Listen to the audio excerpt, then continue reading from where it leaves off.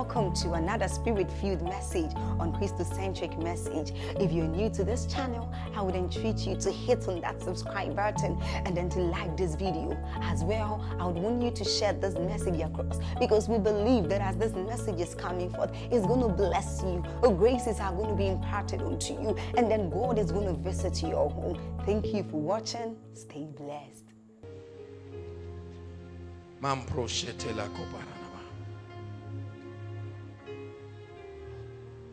So God blesses you so that you can advance the cause of the kingdom. Wealth in the kingdom is not an achievement, it's a trust.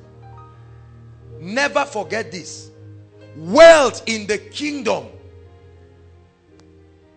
wealth in the kingdom is not an achievement, is not an accomplishment. You satisfy these rules and God trusts you with it. Please understand. That's why there is no boasting. Any rich man in the kingdom that brags unnecessarily does not understand the operation of the kingdom fully. Trust. And he gave unto one. Please come. Three of you. Look at me. The Bible says he gave unto one what? Five talent. Did they beg him for it? He gave them. He gave them. He gave them according to their several abilities. Right? After a while, he came back and demanded accountability. Write this word down, stewardship. Please sit down. Write this word down, stewardship. This is this is this is a word that you must never forget if you want to be blessed in the kingdom. There are no owners of prosperity as it were, financial prosperity. No. No. There are stewards that God commits wealth to for their personal blessing and to be a blessing. The day you stop being a steward, you are not entitled to the wealth of the kingdom. Everybody say, I am a steward. What does it mean to be a steward? A caretaker. A caretaker.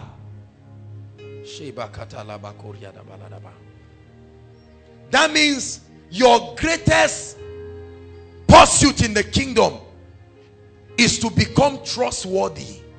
Worthy enough that God can recommend you and can trust you. There are some people who will never be rich no matter how much they pray and fast. Even if they enter one gallon of anointing oil and come out. You know why? They are not trustworthy. In this day and age, let me tell you, in this prophetic season of authentic wealth transfer, God is looking for distribution channels. God is looking for houses, men he can trust. That you say, Lord, you know, I, I told God something. I said, Lord, I know that many people have given in the kingdom, but I want you to trust me and see what I will do for your kingdom. And I mean it. I'm disabusing many of our mindsets right now about prosperity. Because there are many of us that until now, all we are thinking about is just ourselves. Let me make quick money, hammer sharp sharp, marry one lady quickly, have children, build a house, enjoy my life and go back to the village by December and say all you suffering ones how far? God has been faithful. If that is your mindset forget about kingdom wealth. Forget about kingdom wealth that you know that Lord I'm a distribution center. Trust me. Trust me with insight. Trust me with resources. Trust me with capacity. He gave. Out of trust he gave one five talent. That means he saw that the one with five talent was the one who could manage it well. Then the one with two and the one with one and after a while his point was proven to be correct. Because the one with one talent didn't do anything with it. The one with 10 multiplied it. And he collected. You see I said something years ago and I was accused of it. I said in this wealth transfer there are believers who their wealth will also be transferred. Those who do not understand and recognize that the purpose of wealth is to build the house of God in this country there are believers with houses estates and there is nothing they are doing for the kingdom They're not doing anything for the kingdom. Only to get angry and talk, fly around. A church is saying we have a convention. And maybe the total cost for the convention is maybe three or four million. And that man is paying business class 2.5. Right? First class 2.5 and in one week he would travel four or five countries spend more than 10 or 15 million and come back and sit in the church and just keep watching. When you do not take up kingdom responsibility you will never be trusted with the wealth of the kingdom. Are you are you getting something right now? Greed self-centeredness is an enemy to financial dominion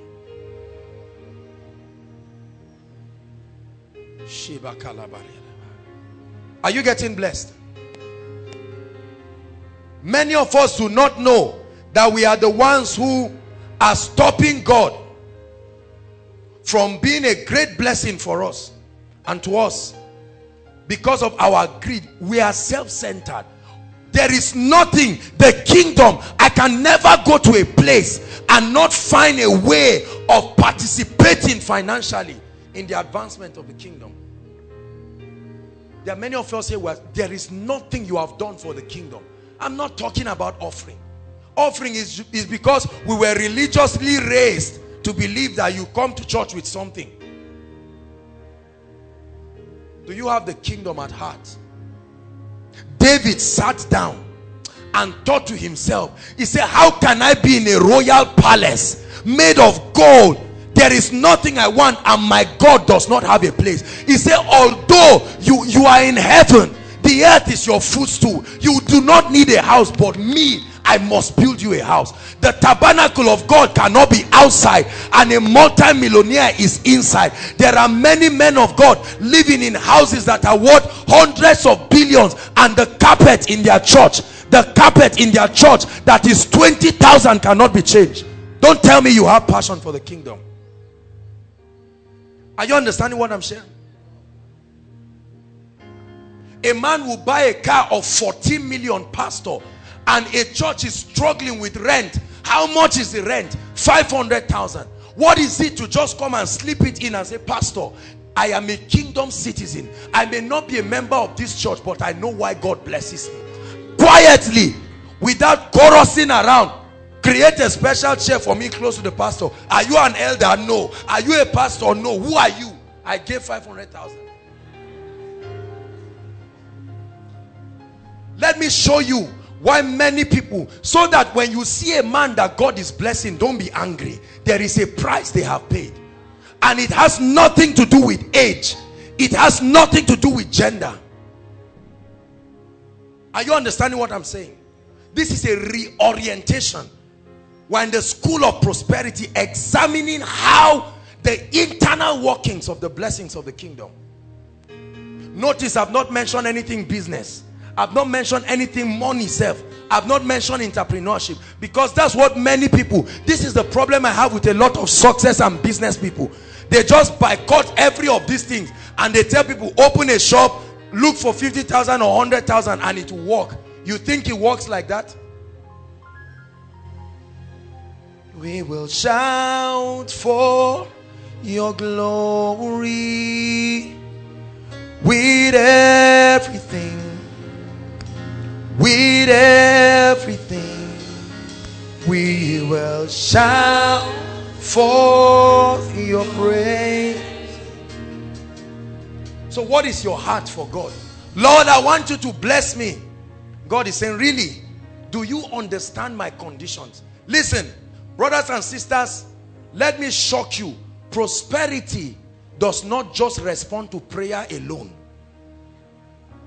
There are many people who believe that just by praying, uh-uh, your heart is a great issue that must be examined.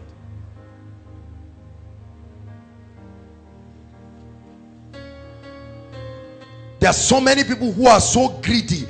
Every time they talk about money, let me show you something. Read Psalms 122 in NIV. Can we get NIV?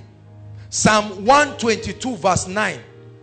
I found this scripture years ago and it, it hit my spirit. I said, goodness, my God.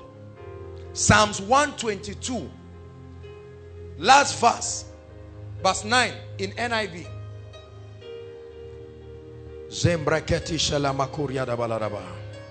Is somebody getting blessed tonight? God is challenging us in this place because he wants to bless us. I prophesy to you is your season. In the name of Jesus. What kept your family members will not keep you. There are some of us, this is the prayer that our parents have been praying for years and say, Lord, will a savior not arise? Will a savior not arise? Is this how we will die? Will a savior not arise? Many of us have prayed and fasted because of the things happening in our families. The Lord brings salvation for us in the name of Jesus Christ. While they prepare to, to pull that up, I want you to understand that every time God increases you and your heart tends towards wickedness, he can withdraw the, the blessings. Are you getting what I'm saying?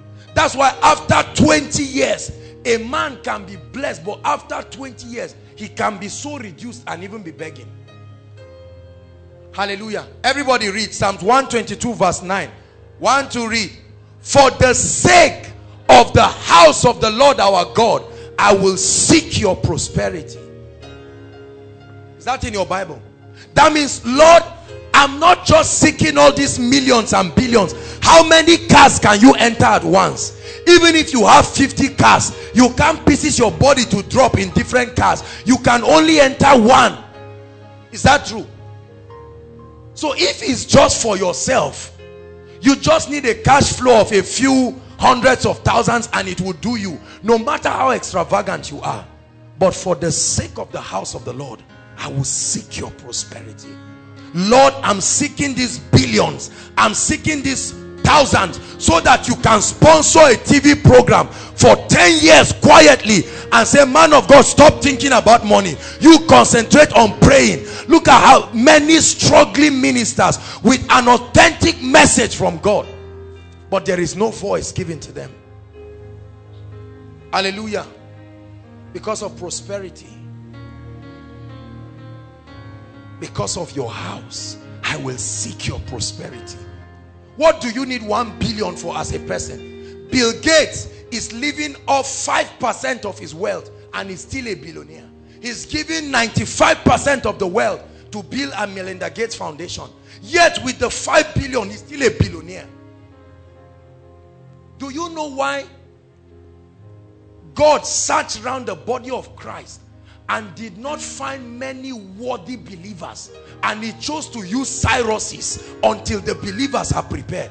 There is no not there's none on record that I know. There is no man of God or minister of the gospel that I know who is a billionaire in dollars not one. The closest is Kenneth Kenneth Copeland. The only person that I can say has gotten there he's not exactly a man of God is Peter J. Daniels the man with the largest real estate company in Australia. What is the problem? We are here shouting massive kingdom wealth transfer and there is nobody. God TV, God TV, hallelujah. God TV, they are looking for about six to 10 million dollars to complete a project for the house of God. Look at the people who have been blessed. Six to 10 million. Brothers and sisters, are there no people on earth that can give a prostitute 10 million for one night. Dollars, I'm not talking of Naira. And it does not shake them. All these rich men go for extravagant outings and buy one wine. One, one wine.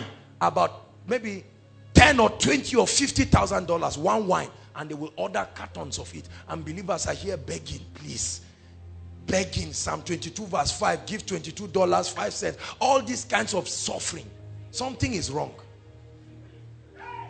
It's not, listen, we're not mocking them, but I believe that our generation will do something that has not been seen. You better believe it. I believe strongly that this generation will do something. We are truly this omega generation that will do something that will keep the world at a standstill. And they will see how we are so separated from the blessing. Are you getting blessed? Forbes 100 billionaires, the top 100 people. in the whole world. There are just about maybe five or six people who are professing believers. And that's the Walton family, Sam Walton and all the other people. Most of the other people are atheists, heterogeneous religions coming from wherever. Where is the church in this? Members of the Illuminati and all of this and all of that. There is poverty in the body of Christ. Even what we celebrate that has turned the head of some people, let me tell you, that's not prosperity. It will be shadows compared to that which is coming. Believe me, it will happen. It's part of the prophecies that must happen before Christ comes. And I will shake the heavens and I will shake the earth and the desires of nations will come. The silver is mine. The gold is mine, said the Lord. Hallelujah. There will be a shaking. This is what is happening. The global recession is a shaking. So God is positioning us. Don't ever belittle yourself. We live in a world where every time we're talking like this, you say there are other people. Do you know what God, can do with you? He told Gideon, you are a mighty man. Oh, thou mighty man of valor. Hallelujah. Are you learning something? Let me show you what God does. Every time there is perpetual misuse, perpetual misuse of his blessings. Hosea chapter 4, verse 7. Is someone getting blessed tonight? You will thank God for these truths that you are hearing. Blessed are the ears that are hearing this. Don't trivialize it at all. Hallelujah. Everybody read. One to read.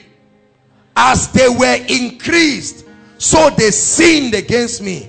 Therefore, I will change their glory into shame. This is why after 30 years, a man that probably, listen, there are some things that are not caused by demons. Is how God's technology works. Hallelujah. Solomon came to a point where he said everything in the book of Ecclesiastes, everything that my eyes saw, I desired. Everything. That insat that insatiable lust for just everything. Money is a wild animal. It can tear you into pieces if you don't control it. That's why the Bible says the prosperity of fools will destroy them. Hallelujah. People make all kinds of nasty statements. People say all kinds of things because they believe they have money. They can hire police. They can do all kinds of things.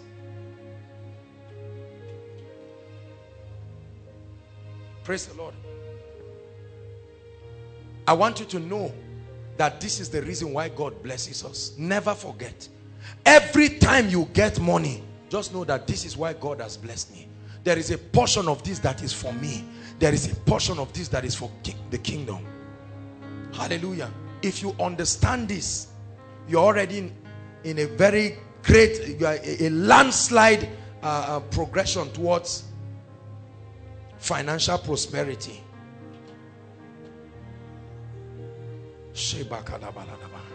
Spiritual laws of wealth and abundance. Now, please pay attention. We'll start talking about the laws now. We've seen why God blesses us. We want to see how he blesses us. Spiritual laws. Remember in our course curriculum, when I read it for you last week. Sorry for those who didn't come last week. We, we read out a course curriculum. Just, just follow. We're really sorry.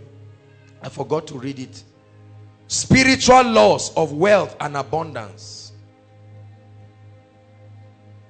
Even so come Yeshua come. And even so come take your bride away. Take us into new realms oh God. How my soul longs to see your face my Lord. Even so, even so, come Yeshua, come. What are the laws? There are spiritual laws, brothers and sisters, that govern the manifestation of wealth in the kingdom. Every herbalist, look at me. If you see this brother today, come my brother. If by next week koinonia, This guy just comes with a what? Range Rover Sports maybe. Or whatever it is. Just, just keep that one. Let's, let's hurry up. Praise God. And he brings a car. And he just comes with some kind of regalia and everything. You can just look at him and say, my brother, in one week, where did you go to? You won't ask him what he did. You say, where did you go to? Somehow, we associate wealth with the spirit realm. Once you see a man that mysteriously rose up to wealth, they say, no way, leave this guy's money. Oh. This guy went somewhere. Not he did something. He went somewhere. So we, and that somewhere in our mind is that he went to a herbalist or a shrine. Is that true? So if you believe that consulting a herbalist can make you rich, it tells you that there are spiritual laws. Hallelujah. Bless you. Deuteronomy 28 verse 1, please. Deuteronomy 28 verse 1. This was a condition for prosperity. And it shall come to pass if thou will hearken diligently unto the voice of the Lord thy God to do what? Observe and do. There is something to do. There are laws to live by. It's not automatic. It's not the issue of receive prosperity. There is a dimension where prayer comes in. But I want you to know that there are laws. Everybody say there are laws that govern wealth and abundance in the kingdom. Say one more time. There are laws that govern wealth and abundance in the kingdom. Let me tell you, if you do not know these laws, I don't care whether you have you have PhD in finance and economics. You will struggle eventually in your life and you will not experience true prosperity. There are many people who believe that all it takes is just go to school, go and get a job, do this and that. Wonderful. We'll still talk about that. But let me tell you, prosperity in the kingdom first starts by your compliance to spiritual laws. Just thank you. Hallelujah. Praise the Lord. Say spiritual laws. Oh, there are laws. There are laws. Just like there is the law of gravity. Whether you believe it or not is there. If peradventure you climb a building and try to fall, that's when you will know that there is a law. Hallelujah. There are spiritual laws.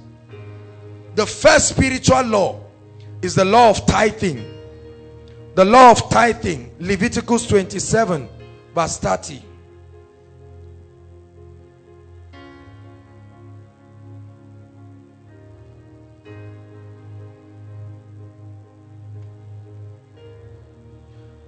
Leviticus, excuse me, 27 verse 30. Everyone, please, can we read? One to read.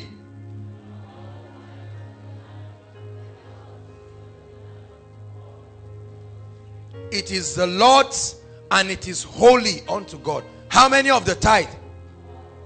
All the tithe. He says, all the tithe of the land. Your tithe. What is your tithe? The word tithe comes from the word a tenth. It is a tenth 10% of your income. Please write. 10%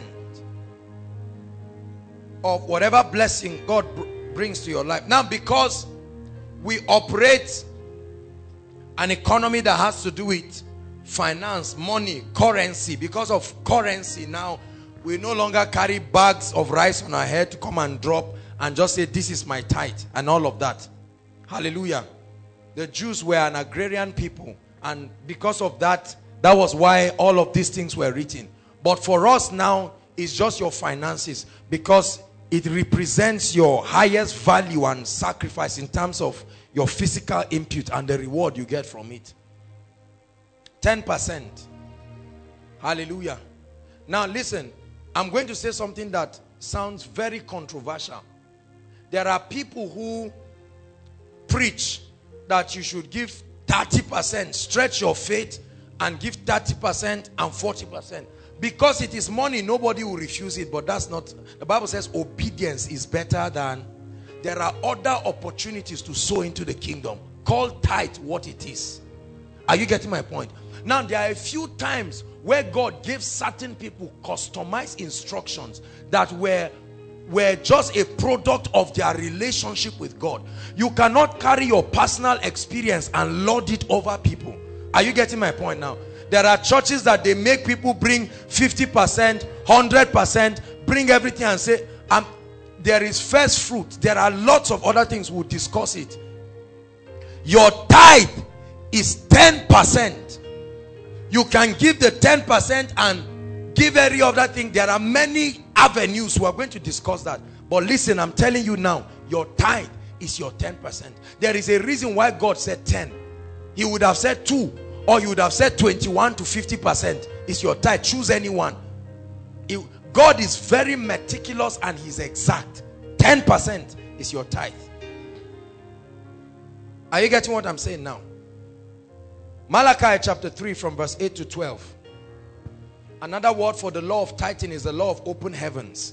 It's the spiritual law, one of the spiritual law that is responsible for opening your heavens. Not just financially, but even financially.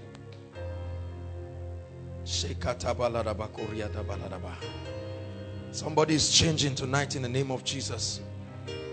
The law of open heavens. Malachi chapter 3 from verse 8. Will a man rob God? Question. Answer it. Answer it for yourself. Will a man rob God? It's an encouragement. It was a question, but use it now to challenge yourself. Hallelujah. Put your name there where a man is. One to go. Will Joshua Selman rob God? Some of you, as you are saying it, God is saying, you see, this is what has been happening. There are many robbers of God in the house of God many robbers of God. And please listen, some of you hear this and you think it's some gimmick by pastors to collect your money. Let me say something. Everybody is an authority somewhere. Are you getting what I'm saying? A professor is an authority in his field, not everywhere. Don't listen to garbages by intellectuals. They are not spiritual people. They don't know how heaven's economy works. You cannot go and meet a man who is not a spiritual man and you are telling him to help you analyze the principles of the kingdom. The Bible says the natural man cannot understand the things of the spirit. It doesn't add up to them. There are many people, because a man is sound intellectually, does not mean he has spiritual understanding.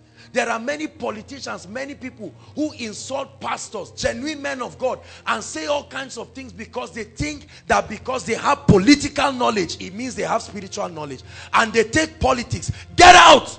Leave us in the house of God. We stay with God day and night and we understand this is our area of grace. Let us function. Don't let any politician just come in and all kinds of people who are misleading people in the body of Christ being manipulated by demons and stopping people from entering their breakthrough. I know that there are abuses here and there, but let me tell you the truth. Any man that is not faithful in tithing is scripturally entitled to poverty. Scripturally.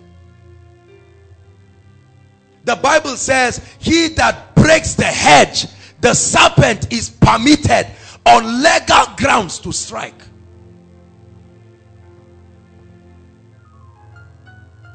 Are you listening to me, please? So beware. There are people who all they do spiritually is they analyze, they downgrade spiritual things and just look at it from an intellectual plane. And when they add one plus one and they don't know how it will become seven, they say it's wrong. It may not be wrong. Just say you do not understand. Hallelujah. Are you getting blessed? And there are many of us, especially some of us as young as we are, we have already imbibed this religious mindset to scrutinize and criticize everything we don't understand. We bring it into our religious mold. And once we find out that it doesn't add up, rather than with all humility, seeking to understand. Hallelujah.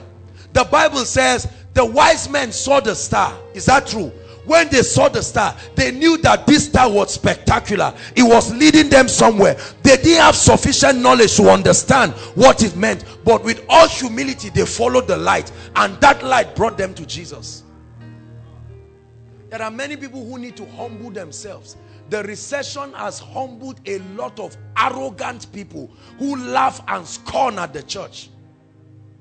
Let me tell you, individuals may fail, but the church of God as an entity is progressing. It cannot fail because Christ is the head of that body. Hallelujah. The law of tithing.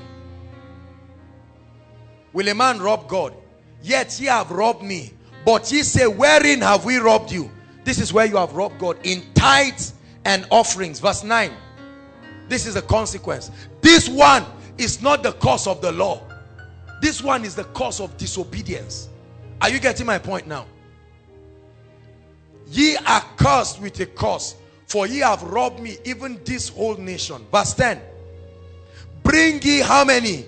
All the tithes into my storehouse, that there may be meat in my house. So God wants that there be abundance, that there may be resources to carry out activities in my house. And God says, if you have done your own part, prove me and see the things I'll begin to do in your life. Number one, if I will not open to you the windows of heaven. Hallelujah. Number two, if I will not pour you out a blessing. Number three, Okay, a blessing that there shall not be room enough to receive it. Verse 11. Number three, I will rebuke the devourer for your sake. Number four, he shall not destroy the fruit of your ground. Your ground is anywhere you sow. It could be your job. It could be your marriage. It could be whatever it is that you're doing. It says, and he. So that devourer is not a thing. It's a spirit. is a living being and he that devourer shall not destroy the fruit of your ground. Neither shall your vine cast its young before its time. There are lots of people with all kinds of premature happenings in their lives. Things that you know this one is the signature of the devourer. Thus said the lord verse 12 and all nations shall testify they will call you the blessed of the Lord. He said, for you shall be a delightsome, a well-desired land. Seven prophetic blessings for being faithful in just one law. One of the laws. Uh, is somebody getting blessed tonight? You must make up your mind. Open your eyes tonight, brothers and sisters, and see where the devil has been robbing you of your financial prosperity. The first thing that happens is that many believers say if i give where will i get another one? Question how did the first one come? Your tithing is a proof of trust.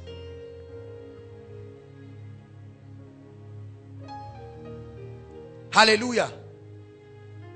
If you cannot bring out 10 percent of your money and say lord i trust you I come because I love you and I come because I know that your word is true.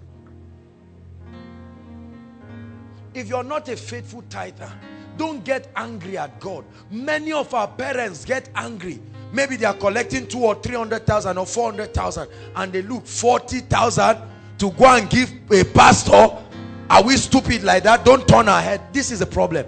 They think they are giving a pastor. They think they are giving the man of God. Are you getting my point now? What you do not know, listen.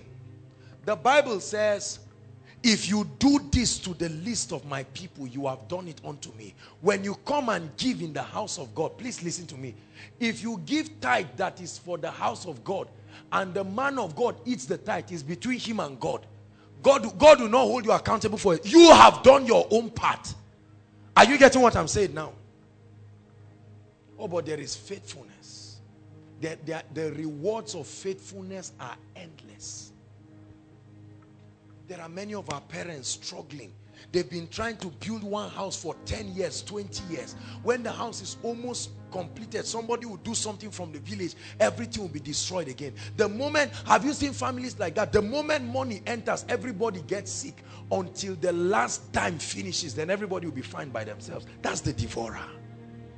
Brothers and sisters, that's the devourer there is a place that your tithe pays or there's a role that it plays in the kingdom You can choose to believe what I'm saying. Hallelujah. Could it be that many of us have been robbed of entering these dimensions of blessings? Some of us go and tell our parents these things in love. There are some of us here that are parents. We have children. We've not been practicing the law of tithing. I want you to know that this is one of the irrefutable spiritual laws. Even unbelievers give 10%. They don't call it tithe. But almost all the multi-million and multi-billion corporations dedicate at least 10% of their money and they say it's for charity.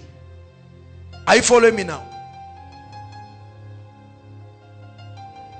If a believer plants during dry season, there is every tendency that you still suffer, although he's a believer. Is that true?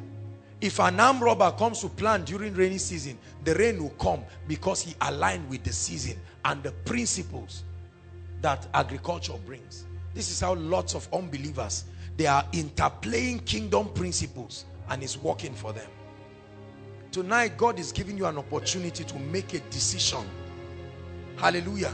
We're still going to continue, but while you're seated, in the next two minutes, I want you to pray and say, Lord, grace. I've not been a faithful tither. Don't bow your head. Pray. Pray. Open your mouth and pray. There are many of us, some of you outside, wherever you are. Please, this is the this is a serious business. Your children, this this adherence to these laws will determine whether 10 years from now, 5 years from now, you will be part of those crying together with your children or you will break certain cycles in your family. Some of us, as you are hearing this right now, you may be young, but God is counting on you to break some chains. Enough is enough. Pay the price now. Pay the price now. Lift your voice and pray. Say, Lord, grace. Say, Kata Baba. I have robbed you and I am sorry. I take responsibility, oh God. Many of us have, have yielded to fear. You are not supposed to, to bring your tithe because you are afraid. God is a loving God. He said, I know the thoughts that I think towards you, said the Lord. They are thoughts of good and not of evil. How can God rob you? God is no man's debtor. God does not rob men. Please lift your voice and pray.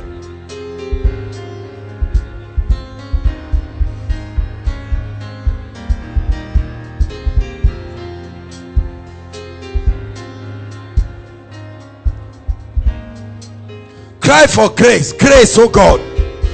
From today, I make up my mind that I will be a faithful tither, not out of fear, not out of religion, but out of revelation. I see that this is a key. I will teach my children how to tithe. I will teach my workers how to tithe. I will teach my family members to tithe. I will guide them and help them to be faithful in tithing so that the heavens will be open. No power in existence will stop the law of tithing. If you insist and say lord i'm ready to comply god is more than able. Before you begin to abuse god and insult him and say he's not helping my family i'm opening your eyes tonight to see the loopholes business without tithing will end up in failure. Ministry without tithing will end up in failure. A corporation without tithing a, a non-tithing family uh, they are entitled to financial hardship.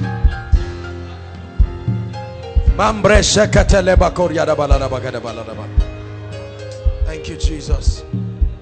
Look up. Praise the lord. Let me say a few more things on tithing. Listen if you are a business owner here I want you to know that tithing does not just apply to a person. Hallelujah.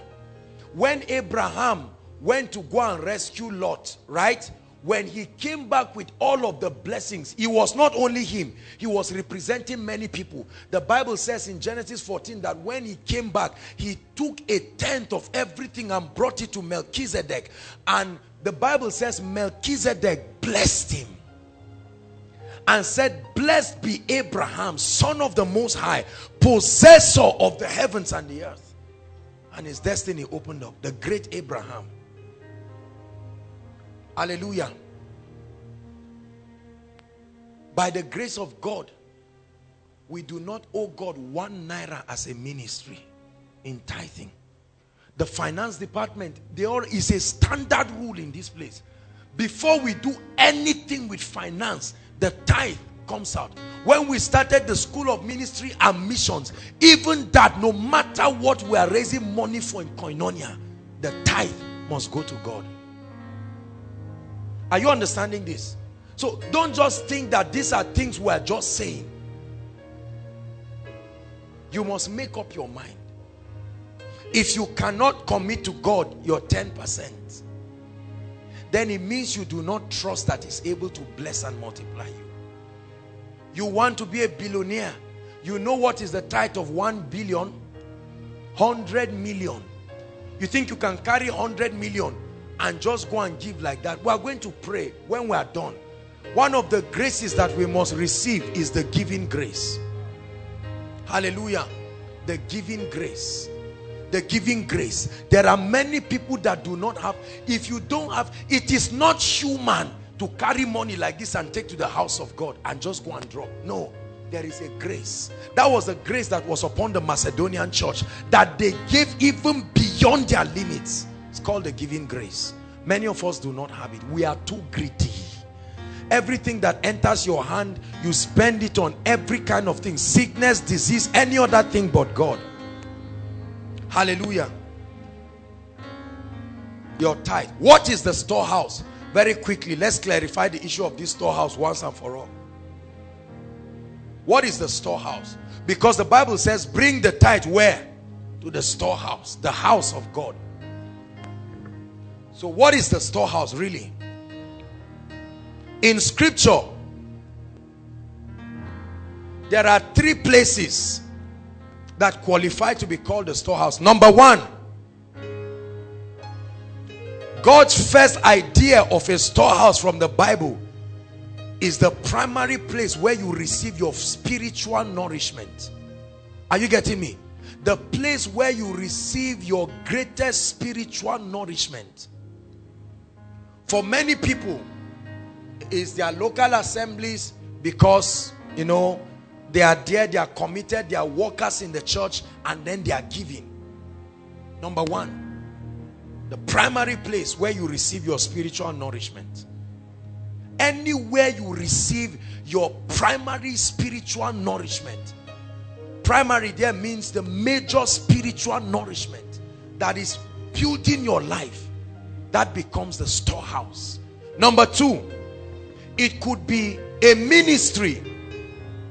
Not necessarily your ministry but a ministry that is committed to the works of the kingdom. Please get this. A ministry that is committed genuinely to the works of the kingdom. There are people for instance that sow in their tithe into maybe Benny Hinn ministry Kenneth Copeland ministry and it's not their local assembly as it were. Are you getting my point now? But it's a ministry that they believe their vision and they are given into soul winning building and equipping believers. Listen if you pay your tithe to a dead place where the activities of the kingdom are not happening it can affect your harvest. It's in the bible. It's the same thing as a farmer carrying a seed and going to throw around in a soil that is non-productive.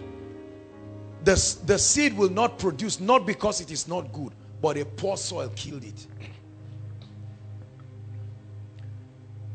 Number three. Now and these ones are there are special situations but i'm going to talk to you. The vessel or the storehouse can also be an individual a man of god. Listen please i want you to listen very well so that you don't confuse what i'm saying it can be a man of God, a vessel. The Bible says, know ye not that your body is the temple of the Holy Spirit. But there are conditions. Are you getting me? Now, there are ministries that the spiritual fathers or spiritual leaders in the Lord, are you getting me? I'll give you an instance. like Bishop Oyedepo, for instance. He is the president of a ministry. Aside from the tithe of the ministry, he has his own ministry. Are you getting me now? So they can they take this tithe, they don't just go maybe to redeem or Kenneth Copeland. That vessel that they are drinking from on behalf of the people. Are you getting my condition now? And they honor them with their tithe and they speak blessings. Abraham went to who? Melchizedek. Melchizedek was not a city, he was a man. And he brought his tithe to Melchizedek, and Melchizedek pronounced a blessing upon him. Hallelujah. There are lots of ministries, for instance, around that by the grace of God look up to us in ways for spiritual direction and they've committed themselves. They come and they tithe in koinonia here. I don't even know. This is what they are doing. Are you getting me? But I'm saying whether of these three, there are special conditions for the third to occur. Because there are many men of God who just sit down and somebody in church just corner a few people and say, I qualify to be the storehouse. Come and bless. I've explained to you that the condition where a person can be a storehouse but the house of God is where you must bless is somebody getting blessed these are the benefits the first law thank you Jesus wow let me touch on one more law and then we'll round up this night next week we'll talk about the natural laws and we'll talk about wealth creation the principle the second law is the law of seed time and harvest. The law of increase, the law of giving. Luke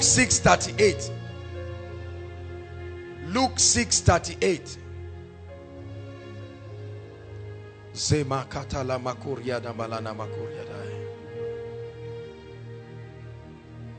Everybody read. One to read.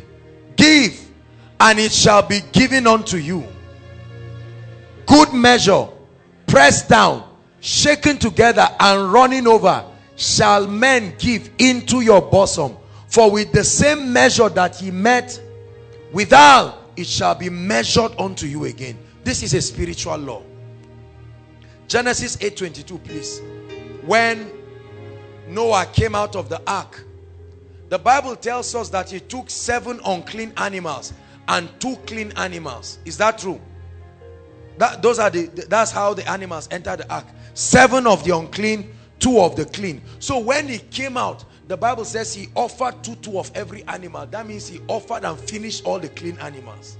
How they came back is a technology we must still find out in the Bible. While the earth remained, verse 21, 21 please. Let's start from 21. And the Lord smelled a sweet savour. This was Noah's sacrifice. And the Lord said in his heart, I will not again curse the ground anymore for man's sake. For the imagination of man's heart is evil from his youth. Neither will I again smite anymore every living thing as I have done. 22. While the earth, that means this is a law that is valid for as long as the earth remains. Seed time and harvest, cold and heat God joined it with other laws so you can verify if it's still working. Cold and heat, summer and winter, day and night shall not cease. Has cold and heat stopped? Has summer and winter stopped? As day and night stop? Then it tells you the law of seed time and harvest is still at work. Are you getting me? The day these three stop, that day know the law of seed time and harvest has stopped. But from the day they gave birth to you till today, the sun still rises, sets according to our perspective here. There is still cold and there is winter. That means the law of seed time and harvest is still at work. Very, very important. What is the law of seed time and harvest really? What is it?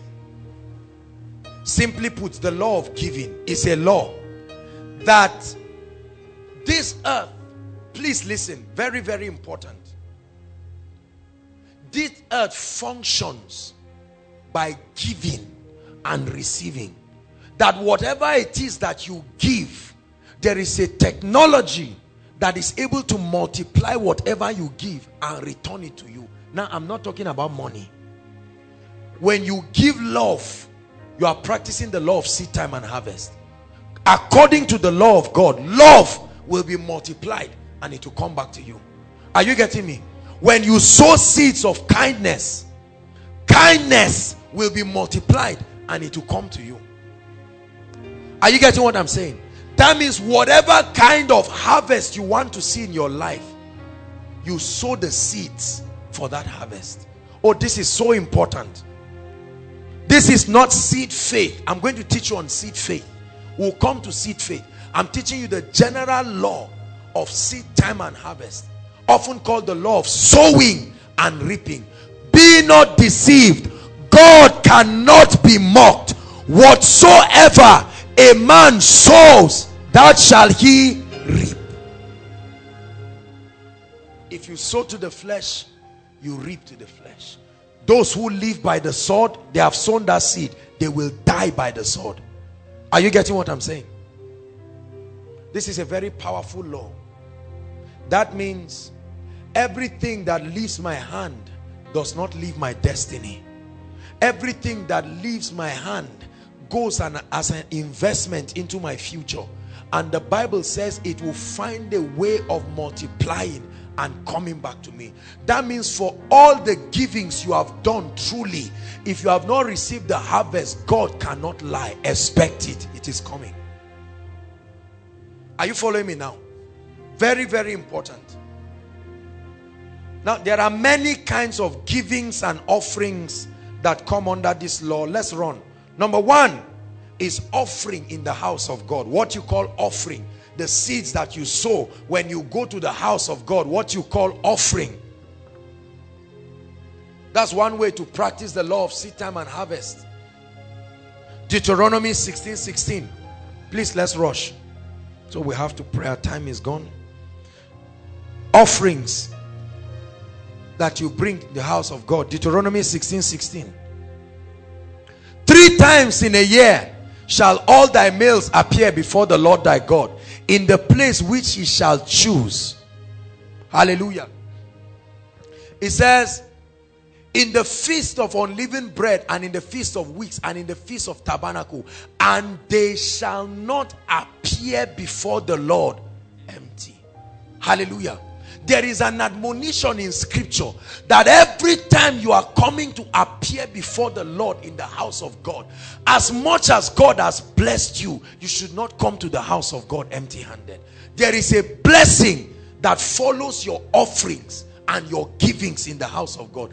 Please never give just because it's offering time and now you don't want to feel bad. There are lots of people that come to the body of Christ. They come to the house of God without a predetermination. They just come and they say offering time. And I know it's not easy to just plan but you can train yourself. Hallelujah. And part of your preparation for coming to church is that this is an offering that I'm bringing for God. So that when it's offering time you're not just looking 100 naira you return it. 50 you return it 20 naira, even the 20, you return the new one and carry one say, Usher, please. You just dump the thing there and say, Lord, at least you. So, no, no, no, no, no. Let your heart be in what you are doing. When I finish teaching you these principles, you will respect any man that is blessed from the kingdom. And you will see why God can punish certain people when they open their mouth castigating blessed people in the kingdom. Are you seeing now? You see that it's not child's play. There is what you must do. It's not cheap. It's not free. Offerings in the house of God. Number two, I call them kingdom investments. Your givings for the building of the Lord's house. Kingdom investments. Every other seed and commitment that you make so that there will be a smooth running of the activities that happen around the house of God. I call them kingdom investments. Lay up for yourself treasures in heaven. Kingdom investments. Not necessarily that maybe like project 10,000 like this. That could be but you can sit on your own and say Lord I'm committing myself God is blessing me. There is 50,000 coming in for me. Maybe 5,000 or 1,000. I'm going to commit myself that this is for kingdom investments. This is for building of the Lord's house. This is between you and God. You see, brothers and sisters, let me tell you, please and please, don't you think this is some spiritual gimmick to bring out money from people? Satan doesn't want the church of the Lord Jesus Christ to be blessed. There are natural laws we are going to talk about. But your natural laws have failed already if you don't comply to the spiritual laws. Every unbeliever pastor, they have commitments to various spiritual houses or places of worship. Is that true? Whether they are business people or whatever, once there is a project and they hear sometimes even without anybody coming they run because they understand the implication. I want you to see how unbelievers play these laws and the way they are building a very great financial future with it. Commit yourself. Never be in a place and you don't find something. Let me tell you. See eh? years ago I used to play the keyboard for a ministry. A man called Reverend Emmanuel Amechi. They were part of the team of people that had the opportunity to preach to Obasanjo and all of that. Now they came and they started a ministry in Jos, Pastor. I used to go and play keyboard for them. Listen, nobody ever gave me one naira. Are you getting me? I would trek from my house maybe sometimes after I come back from my local assembly, I will go there and I'll play keyboard for them. And I will play with all my heart. I was responsible for my finance and everything. That's the law of seed time and harvest. Are you getting me? Kingdom investment does not just mean money alone. Your participation. Every worker in the house is participating in the building of the kingdom. This is practicing the law of seed time and harvest. It's not just your finance alone. The Bible says you reap where it, it didn't say you reap where you sowed, it said you reap what you sowed. So even if you are not here tomorrow, that thing will still bless you. Hallelujah. The only thing I remember getting in that ministry was one bottle of Fanta, I think, and then one cassette during the launching of the man. That was all I ever got. Is my own keyboard, oh, pastor, I will carry it, maybe bike or sometimes from my pocket and I will go there but I was doing it joyfully. God is my witness. I never complained once to say this man it was even my parents that were saying this this this boy is a small boy. What is all this one again? But I was doing it joyfully. But God was watching. This is what happened to David. While he was tending his father's sheep God was seeing him and saying I'm seeing the heart of a king in this shepherd. Many of us when you see certain people you don't know what stories and experiences made God to vow some vow about their lives. There was something Abraham did that made God to vow that in blessing I will bless this guy. These are the kinds of people that the Bible says he reproved kings for their sake are you listening to me? He suffered no man to do them wrong. He reproved kings for their sake, saying, touch not my anointed and do my prophets no harm. How much are you committing yourself?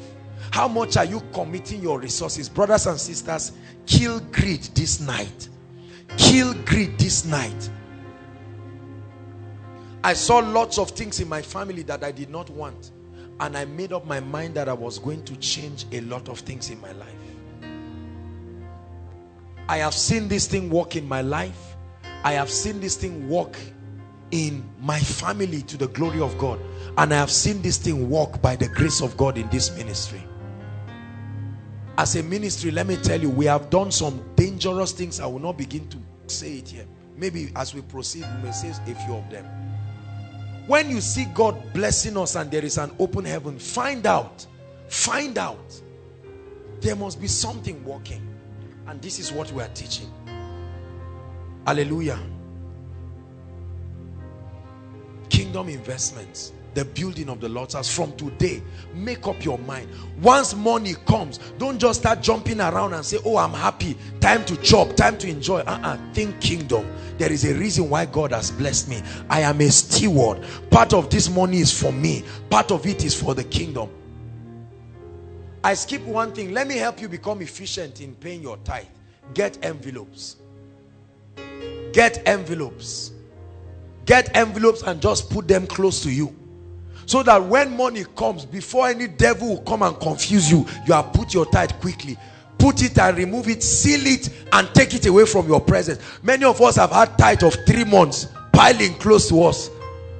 One day the thing gets tough you just open one. No many of us do a lot of funny things. And the fact that God kept quiet about it is because he knows we are humans and is allowing us to grow. A day will come you will receive the gravity of that disobedience don't touch your tithe. It's holy unto God. This is not to threaten you. This is just the truth. It's how the law of the kingdom works. Hallelujah. Two more and then we'll pray. First fruits. Many people have asked me so much question about first fruits. I'll just touch it briefly. This is one of the ways that we can express our givings. Now, um, look up. What is first fruit?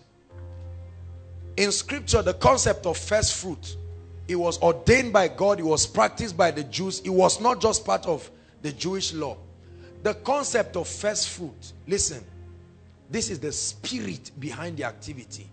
If you don't understand it even those who practice it do it religiously. Or they do it because some churches have register all the members if you drop your first fruit you sign. Later they call you and say ah elder what is wrong this is March. You have not dropped anything. They didn't pay you. And it so happens that many churches, the employers and the employees are in the same church. So, and the boss is part of the working committee. You can't lie that they didn't pay you. You see, all those kind of things. So let's get it very straight here. Does first fruit exist? Yes. But listen, is first fruit compulsory? No. The same way saying is bathing compulsory? No. But not bathing creates consequences, correct? Are you getting me now? Your first fruit is a symbol, is a prophetic way of honoring God and showing him, I'm sorry, that he's first in your life. Are you listening to me? First in your life. That when you take your first fruit, and now I'll, I'll explain it in details, and give the Lord and say, Lord, I'm honoring you. Maybe the first profit of your business or maybe your first salary as a worker there are different ways that people practice first fruit. Others maybe january there are churches and people who their salary for january they take it to god and everything and all of that. Is it's not just about giving god money. It's about telling god that you are first in my life. Are you getting the concept now so if you just bring money and just throw and you are frowning around and say, these people say very wicked people. I hate January. Every January is the time they eat our money. No. Understand the spirit behind what you are doing. Bless you. If you do not practice first fruit, it doesn't mean that you're not going to enjoy the blessings of God. It's just that there are certain dimensions you may not be able to enter. As simple as that. Are you getting me? Your tithing, your giving, your kingdom investments, they all have their inputs to your financial life. It's like saying if you don't do extramural, will you pass JAMB? You know, that's the question. It depends on many factors, the kind of school you went to and all kinds of things like that. But it will always be an advantage and it will add to you spiritually. First fruit. Please, never allow anybody to put you under force and pressure and try to threaten you with a curse to say Sam I'm waiting for your first fruit. If by next week you don't bring it upon this altar I will stand on this altar and provoke a ah, please don't let anybody confuse you. There are many people there are many men of God that are bullies. They bully members with all kinds of prophetic prophetic messages and they get it very serious. They say i saw a vision. A curse was coming upon the church and those who did not give first fruit they were affected. And everybody just runs around and say carry and give him please. Just give him less rest. Everything that is not done out of revelation will not profit you. Are you getting what i'm saying? I'll just leave it there. So first fruit is very important. As you grow in your giving and you see the benefits of giving you see that's why our walk in the kingdom is by faith. There are many people their faith cannot carry them beyond certain things. So don't be angry if both of you are blessed and you see somebody making certain progress. There are certain laws he's practicing. Please are you getting me? I don't want to go into so much detail. I'm just giving you what we need here. The last one that i'll talk about is the concept of what we know as prophets offering people have suffered because of this thing let's clarify it once and for all. Is there such a thing as prophets offering? Are you blessed tonight by what i'm teaching you? Praise the lord. Two scriptures second kings 8 from verse 8 and 9 what is prophets offering? Now look up. In ancient times listen please.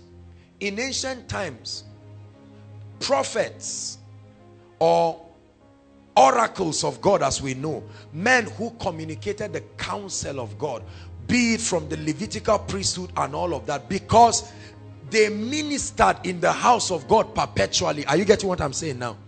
They had no opportunity to participate in agriculture and other things other secular activities. Things have changed now but they did not have that opportunity. Are you following me now?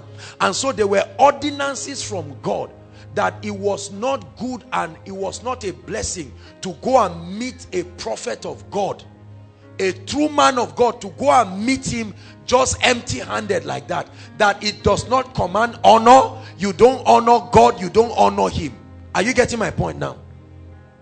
And the king said unto Hazael listen they wanted to they were looking for this was um this was um was it Hezekiah now? I believe. Whoever it was, the king. Praise God. Take a present. Are you seeing it now? Take a present in your hand. Where's my present? Take a present in your hand and go meet the man of God and inquire of the Lord of him saying, shall I recover from this disease? The king told the man, don't go and meet a man of God empty-handed. He said, take something in your hand as a sign of honor. Are you getting me? When it was time for Jacob to enter his prof, I mean for Isaac to enter, um, Isaac to now bless his sons. Is that true? The Bible says he told his son, go and make me venison. Bring something in your hand so that it will provoke a blessing from me. Are you getting what I'm saying? The king said, take something in your hand. Don't go and meet the man of God empty-handed. So we see there that that's the concept of prophet offering.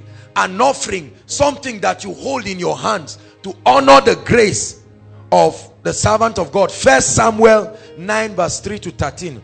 I'll say it and we'll briefly touch the imbalances there and then we'll wrap up for, for today. First Samuel chapter 9 verse 3 to 13. This was the encounter. And the asses of Kish, Saul's father, were lost. So something was lost. They needed a breakthrough in their life. Please listen. I want to teach you a powerful principle. There is still the law of seed faith. We're coming there. But I want to teach you one very powerful principle. And they were lost. So they needed a miracle. And Kish said to Saul, his son, Take now one of the servants with you. Arise and go and look for the asses. Verse 4. And he passed through the Mount Ephraim and passed so on and so forth and all of that. But they did not find it. Verse 5. And when they were come to the land of Zuph, Saul said to his servant that was with him, Come and let us return. Let my father leave caring for the asses and begin to take thought of us. Verse 6. Listen. He says, and he said unto him, Behold now, there is in this city a man of God. Everybody say a man of God. And he is an honorable man. He said, all that he saith cometh to pass. Now, let us go and meet him. So they were confused. They needed breakthrough in their life. Are you getting me now? This was Saul and a servant. And he said, let's go back. Our father will be worried. He said, no. In this city, there is a man of God. There is an honorable man who is able to solve our problem. He said, let's go and meet him. The word of the Lord comes to, to pass in his life. He said, peradventure he can show us our way that we should go. Verse 7 i want you to know that this was a culture that was practiced among the ancient. And that's why a lot of them got lots of blessings. Then said saul to his servant but behold if we go what shall we bring to the man? Are you seeing now? They knew that it was unlawful to go and meet a man of god just empty handed to say we have come to meet you and and all of that. He said for the bread is spent in our vessel and there is not a present to bring to the man of god. What have we? Verse verse 8 now. And the servant answered saul again and said behold i have here a in at hand a fourth part of a shekel of silver that i will give the man of god to tell us our way are you following me? And so on and so forth. And then they met a man and they brought the gift and he told them and he called he was an uh, he called Saul an anointed Saul. Are you getting what I'm saying? So the concept of prophet's offering is simply a spiritual way of approaching a man of God with honor knowing listen knowing that God can use him to bless you and solve your problems. Now today in our day is the concept of prophet offering applicable. Absolutely. It is applicable. It's simply the law of honor. Whether you call it prophet offering or whatever it's simply the law of honor. Let me teach you something brothers and sisters. It should not deter you that you don't have maybe money to give and you cannot go and meet a man of God. Now, I'm aware that there are lots of men of God. If you come and meet them and you don't have anything, they don't hide it there is a basket or there is something nobody will even tell you as you are entering. Those who are taking you there say mr man. Hold your 30,000 there are even those who have put their bill they have suffered enough. They said look i won't be foolish again. Prophecy 30,000 this and that and that. And it's working for certain people. They may not be necessarily fake but i think it's inaccurate. Are you getting my point money and anointing does not mix together. People are supposed to do things out of revelation. However on your own part i never go and meet a man of god higher than me without nobody comes to my house and not get something. There must be something. I must insist that you take something. Is the law of honor. There are some of us who are fond of you know and please i hope you know that i'm not threatening you and say start packing. God has blessed me God doesn't owe me anything at all. Are you getting my point now? So don't think it's just some gimmicks to steal out money from people. No, no. My blessing is not tied to you. My blessing is tied to my practicing the kingdom principles. Imagine if God, if I was totally dependent on you for my blessing, I would have died by now. ah, yeah, yeah. But God is faithful. Praise the Lord. Do you believe what I'm sharing with you? I will never go and meet a man of God higher than me. Even if it's just to greet even if he comes into a city there are men that I hear that just came into Zaria for a program. I'm not even related. I'll package something maybe a tie or wine or something. I'll say quickly take it to that man of God. Just tell them I went to I, I want to greet them. Or sometimes I can just put recharge card. Quickly one five or something is the law of honor. I've taught you this. Commanding results is the law of honor. If you've been doing it, stop it. Many of us on your way to go and see a man of God, you branch a, a, a restaurant, Chicken Republic, you blow 5,000 there, you finish eating and you belt, you say, hey, by now, let's just go and see him. And you get up and come, and you even sit down, sir, things are not changing. You say God will bless us. And you know, I'm not talking of me. It's, it's very bad. It's dishonoring very dishonoring. So while on one side we don't just teach people that if you don't have a gift it means the anointing will not flow he will not bless you. That's erroneous. But let me encourage you. I want to encourage you. Have it as a spiritual culture. Beyond koinonia you will provoke lots of things. There are places i go to minister and i tell you the way they treat me and the kind of honor they give me I find out that there are unusual open heavens. Even certain things that I don't want to share I find myself sharing it. A seed can provoke something in your direction when you honor people. He said honor your father and your mother. It's a law honor people. Hallelujah. Praise the Lord. Many of you have never blessed a man of God. See, I say this is just because I have to teach you. You don't know how difficult it is for me to teach all these kind of things. Many of you have never. We are here blessing you day and night. I've said it and said it. Some of you don't even know our birthdays. You don't even know my birthday to say, Kai, this person is doing all of this. Some of you try to call and I caught the call and for one hour you're just talking and rambling and making all kinds of noise and you are not wondering you know this very unemotional attitude. There are many families like that. They gather their whole family. We are coming for deliverance. We are coming for this. And the man just comes. Where do I sit down? And they sit down. The wife too sits down. Demons are disturbing us in this house. We had that uh, is it deliverance ministry or what is it? And you know they are talking. Is very wrong. Very wrong. No man honored a man of God in scripture and did not have anything. You are not buying the miracle but I'm telling you it's a law that will open you to dangerous dimensions of blessings. When Jacob brought the venison for Isaac when he took of the venison it provoked a blessing from within him. Hallelujah. I've shared with you my story on how I packaged a very dangerous seed and I left to Canaan land. Hallelujah. I went to go and honor God's servant here. I didn't get to meet with him, but I still went to practice that law of honor. And without contradiction, the lesser is blessed of the greater. When I came out from there, praise God, when I came out from there, I was to enter the car and the Holy Ghost told me, come out. And I came out, he said, kneel down. I laid my hands there. He said, from today, every city you go, the heavens will be open to you. The same way you are seeing it there. So when you see a reproduction of certain things, understand that there are laws that work. There are people who keep criticizing because we are flying our shed. They just look, how are these people doing it? These guys, they must be fetish. That's why you see certain people bring judgment on themselves. You were not there when we were praying the price, but you now see the reward and begin to criticize.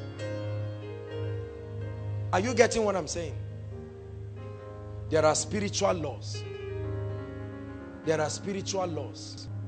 One of the reasons why this ministry will never go down is because we sow into your life. There are bosses here. You know, sometimes people ask me, they say, why do you spend so much money on bosses? You don't want to know how much we spend per week just on bosses, chairs outside and the rest. Sometimes I come and I rebuke the protocol people and I tell them, why are there some people standing? Go and get more chairs.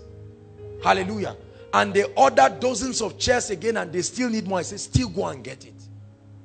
It's the law of honor that I'm a man. I don't know what grace you carry. Is everybody sitting here, you are a bank of grace.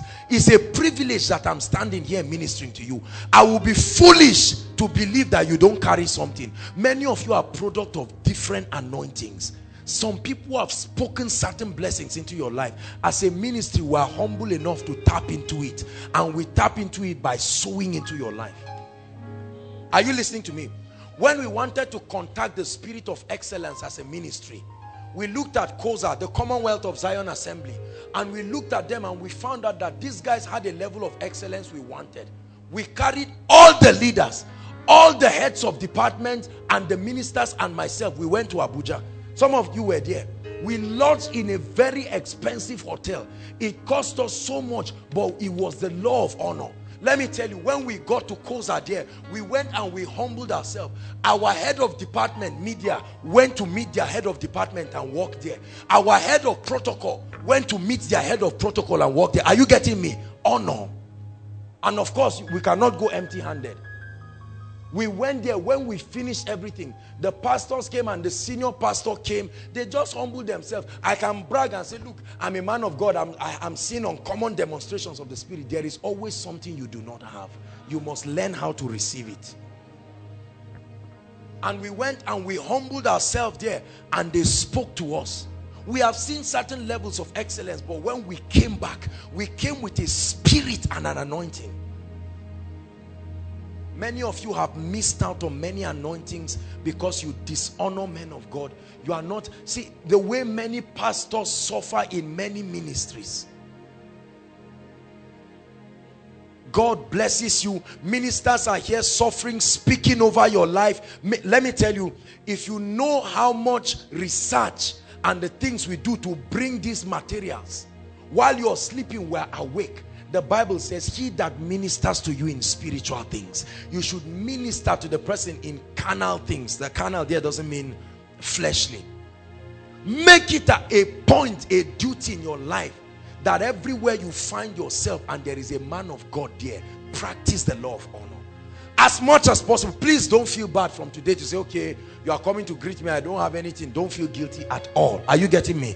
But I'm teaching you there are many people who don't have the means sincerely, but I'm teaching you is a law. Begin to practice it. Hallelujah. I'll never forget one time I went for a ministration in, in a particular city. I won't call it because there are so many people downloading the teachings. And I was so humiliated. Pastor, I felt so bad. I said, Lord, this is not fair.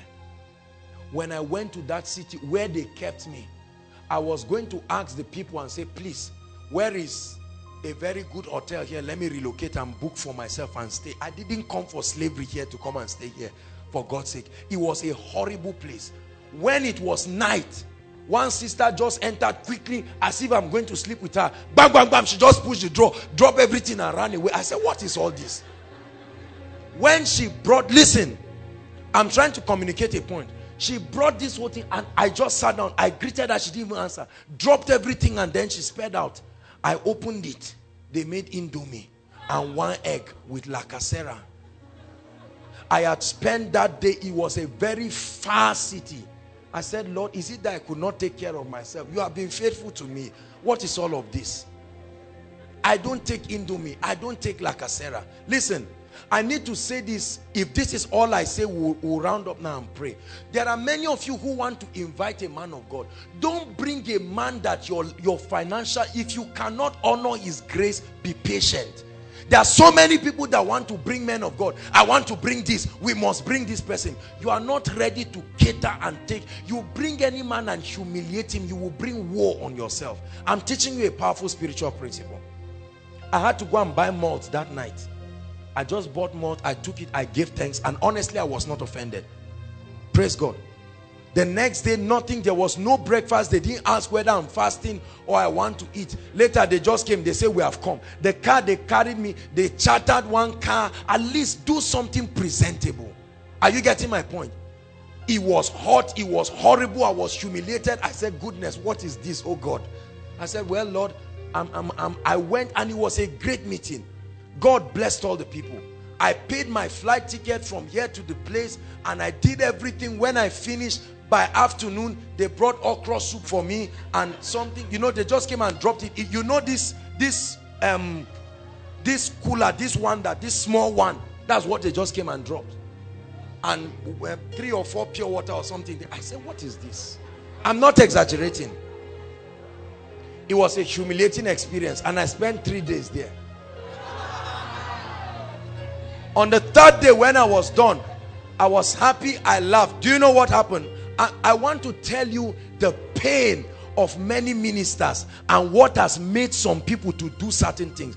Don't just sit down and criticize and say they are materialistic.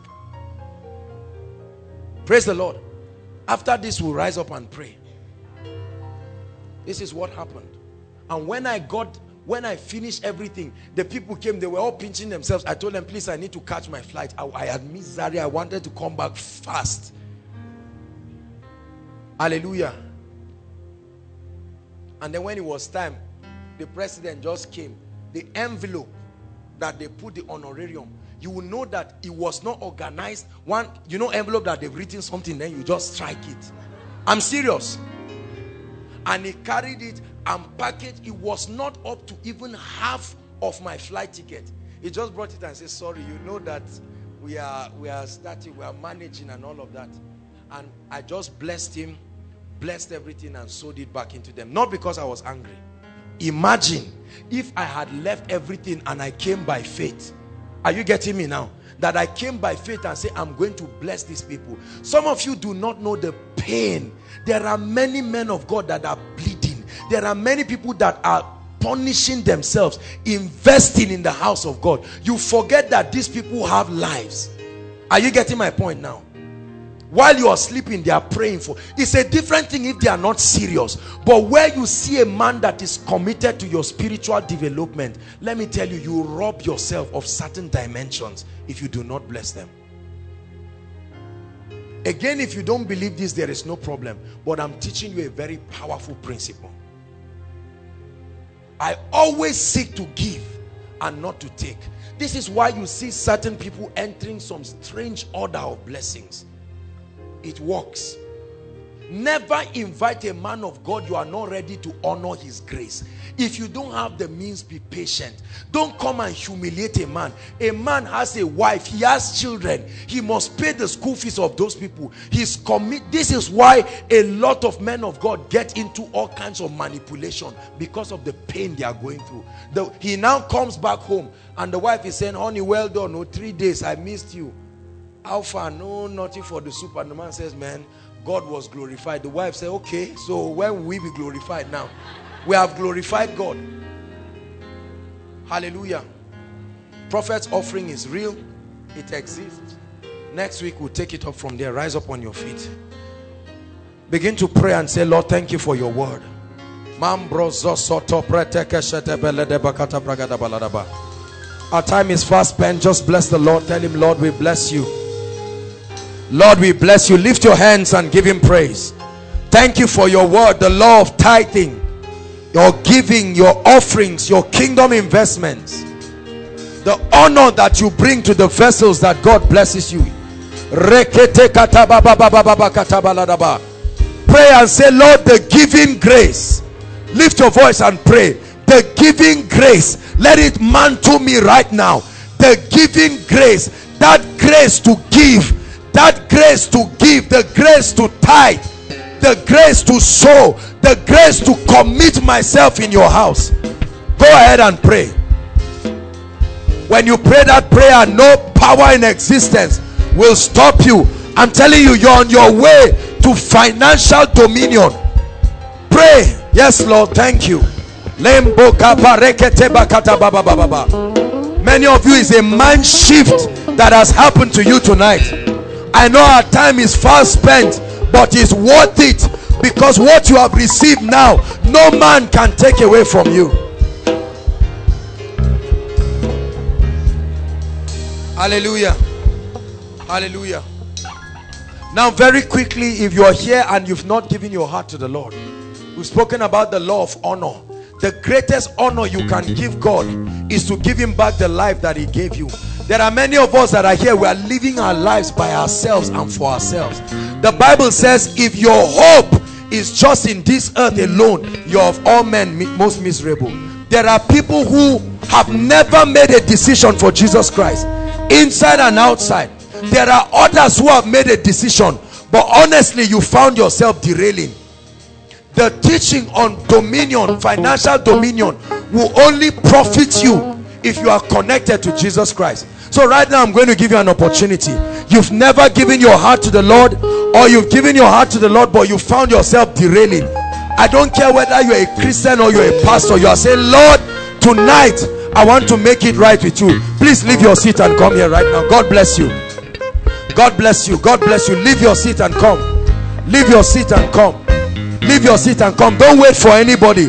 I believe that there are people the holy ghost is talking to please we're out of time. Keep coming inside and outside. Don't be afraid. If the holy ghost convicts you please come very quickly. Very quickly. If there are people that the lord is speaking to you've never given your heart to the lord or you found yourself derailing there is nothing to be ashamed of. God bless you. God bless you. God bless you. Celebrate them. They are coming. I believe there are still a few people outside. Don't be afraid. Don't be afraid. God bless you. Keep coming God bless you. Keep coming. Hallelujah. Keep coming. As many as are coming, just let them come. Please pray with me very quickly. Say, Lord Jesus, I love you from the depths of my heart. Today, I make Jesus Lord of my life. I receive eternal life into my spirit. I receive cleansing and remission of my sins. Holy Spirit, come and live in me in the name of Jesus Christ I declare that I'm saved in Jesus name Father, preserve these ones. Preserve them and make them mighty men in the name of the Lord Jesus. Please quickly just follow the ushers. They'll have your details and they'll meet with you tomorrow. Hallelujah. Hello, beloved in Christ. We hope this message was a blessing to you. I would want you to do something for us. If you are new here, kindly hit on that subscribe button for us and then like this video as well. Share to your family and friends to bless them because we know that this message will be a blessing to their body, to their soul, and to their spirit. We would need you to do one thing for us too. Tell us in the comment section where you were watching us from, and if you've got any testimony for us, kindly share with us. Thank you for watching.